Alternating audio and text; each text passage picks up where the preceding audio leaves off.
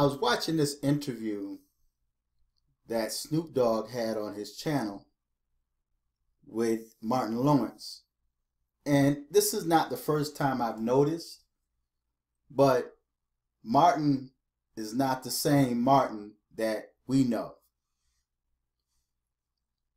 I completely understand that they say that Martin had a stroke, but something happened before that stroke took place. Martin Lawrence is not the same. He's got this faraway look. He seems extremely slow. Now, this could be as a result of that stroke. But something else is in play. What did they do to Martin Lawrence? Now, this is an old article that came out in 1996 before Martin Lawrence had his stroke. Now, Martin Lawrence is much younger than myself. And I'm sure that there's young people out there that's having strokes, that's having heart attacks, that's having old people's curse. Because it's not a blessing to have a stroke or a heart attack. It's an indication that either something is wrong in your DNA or you're not taking properly care proper care of your temple. Now I'm going to read a portion of this article with you guys and then you can go and check it out for yourself. Now the video is also attached to this article and you guys can go watch it in its entirety. But I just find it quite interesting that Martin is not the same Martin that we know. Now, something happened when he had an alleged breakdown. And I'm going to read some of the things that he was recorded or someone gave an account of some things that he was saying when he ran out with that gun. Now, as it reads, it says, comic Martin Lawrence was found wandering in a busy Los Angeles street yesterday, a loaded handgun in his pocket, yelling, acting like a madman, authorities and witnesses say. The You So Crazy star was plucked from the intersection by cops, hospitalized, and released to his doctor, who said Lawrence had failed to take prescribed medication and had suffered a seizure, according to police. Now, pay close attention to what's being said. He takes, he failed to take prescribed medication and has suffered a seizure according to police. But a publicist statement issued later quoted Lawrence's doctor, William Young of Cedars Sinai Medical Hospital, as saying the star was suffering from complete exhaustion and dehydration.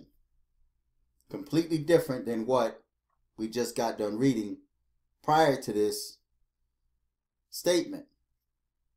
Cedar Sinai spokesman Ron Wise said last night that Lawrence had been admitted into a regular medical ward there in a fair condition.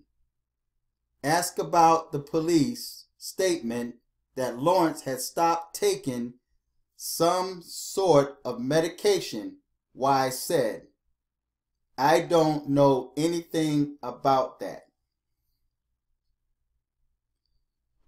The brawny 30 year old star of Fox TV, Martin, quipped, always told everybody they'd be coming for me someday.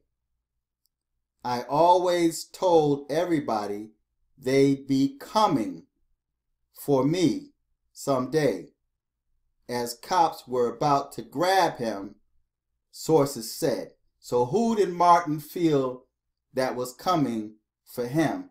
Now, it's easy for a celebrity to stand up and say that um, it's just a conspiracy theory when people talk about the Illuminati and how Hollywood, the things that's going on in Hollywood. But then when you have someone like Martin Lawrence, and this just didn't happen to Martin Lawrence, but also Dave Chappelle, where Dave Chappelle had to run to Africa. And he had the same issues that Martin Lawrence had. A toxicology report just came back regarding Prince, and they were talking about the drugs that he had in his system. If I find that article, I post it on the bottom, but the same thing that was in Michael Jackson was also in Prince. So they not only came for Michael Jackson, but they came for Prince, they came for Dave Chappelle, they came for Martin Lawrence. Martin Lawrence is not the same. Police did not say whether the handgun was licensed, but said authorities were considering filing misdemeanor charges against the Queen's rear TV and movie star for carrying a concealed weapon. Witnesses and cops said Lawrence ran into the bustling intersection of Tyrone Ave and Ventura Boulevard, the main drag of the Sherman Oaks neighborhood about 12:30 p.m. and began yelling at passing cars. Check this out, and I'm going to end this article you guys can read for yourself. He was yelling, Fight, you know, don't give up, fight the power, or something like that. Witnesses Aaron Berg told Los Angeles KCAL TV. He was shouting some obscenities or something. The police were forcibly putting their arms around him like trying to hold him down because he was fighting so much and yelling. He was like a madman. I was like, that's Martin Lawrence. I couldn't believe it. Police took Lawrence to Sherman Oaks Hospital before he was released to his doctor and admitted to Cedar Sinai. Then it says the star of the new movie, A Thin Line Between Love and Hate, frequently has raised eyebrows for his sexually explicit stand up act. But he said his marriage last year to former Miss Virginia USA Patricia Southall and the birth of their daughter Jasmine, now three months old, was mellow has mellowed him. And this is where I end this. I am more conscious of what I do, Lawrence said in an interview last month. I'll be more conscious around her, my daughter. And that's where I'm going to end it. Now, I'm going to put this article in the bottom. You guys can read it for yourself. But Martin is not the same. Now, I've read where he allegedly had a stroke, but why was he running and yelling that he knew that they were coming for him one day. Martin Lawrence is not the same. And what type of medication did they have Martin on? So, feedback, tell me what you think, subscribe. Until next time, peace.